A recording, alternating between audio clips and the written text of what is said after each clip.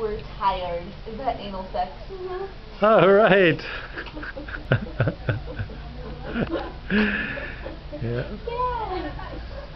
Yeah. We love anal sex.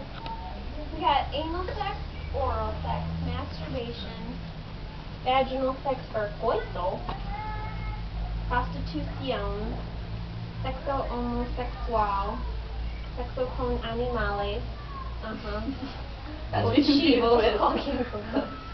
Asfal asfalto sexual. Uh-huh. Y el favorito, sexo anal. Bueno.